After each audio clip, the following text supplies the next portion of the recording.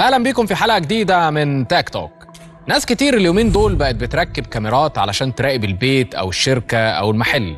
أغلب الكاميرات دي بتبقى موصولة بالإنترنت علشان تقدر تدخل عليها من أي جهاز ومن أي مكان حتى لو من الموبايل.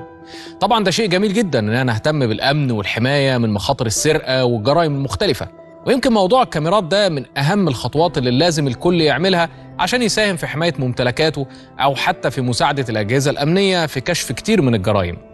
في الفترة اللي فاتت ساهمت كاميرات المراقبة في كشف غموض جرائم كتير جدا من أول سرقة العربيات للمحلات التجارية وحتى التعرف على هوية الإرهابيين في كتير من التفجيرات. شوف مثلا الفيديو ده في محل لحادثة سرقة تمت بكل سهولة واخد بالك من الست مدت إيدها وسرقت الفلوس إزاي؟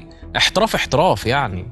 تخيل لو مفيش بقى كاميرات كان حد هيعرف مين الناس اللي كانت موجودة في المحل ده وفي التوقيت ده؟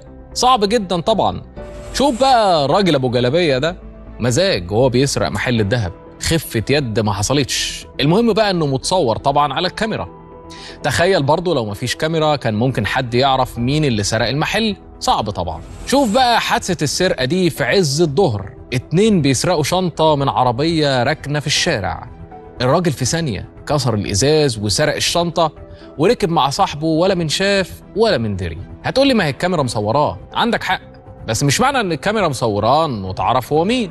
في الحوادث الإرهابية الموضوع أكثر تعقيدا بالذات لما يكون المكان اللي حصل فيه تفجير مش مركب كاميرات أو مفيش كاميرات قريبة منه.